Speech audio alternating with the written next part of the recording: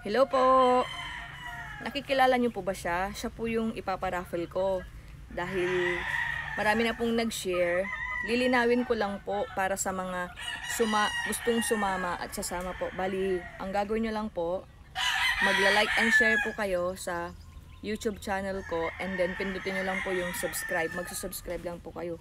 Bali, like, share, and subscribe. Tapos, pag nagawa nyo na po yon i-shot screen nyo po. Tapos, isi-send nyo po doon sa box na nandoon po yung, sa post ko po na nandoon po yung raffle po natin na sigal.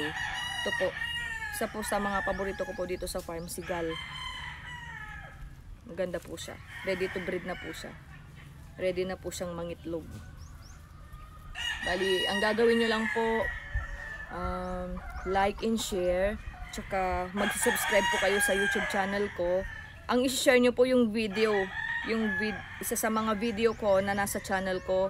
And then, pag nakasubscribe na po kayo, nandoon po, na-click nyo na po yung subscribe, like, share, and subscribe.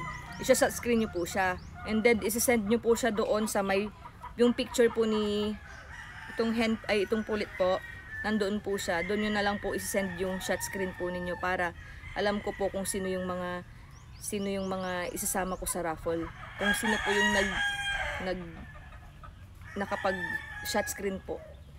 Si-send nyo po doon sa my inbox. Yun lang po. Hindi po yung mismong share ko po nito ha, doon po sa YouTube channel ko.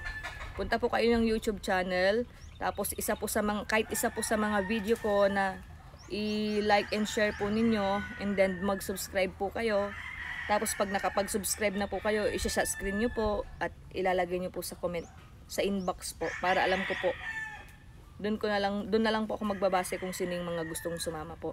Tapos po magla-live po ako pagka magra-raffle na, pag ipaparaffle ko na po kung sino yung mga nakasali po. Pag nakawag pagka naka 1,000 subscribes na po ako sa YouTube channel ko, pwede na po tayong mag, pwede ko na pong i-raffle po. Yun lang po. Maraming salamat po. God bless po.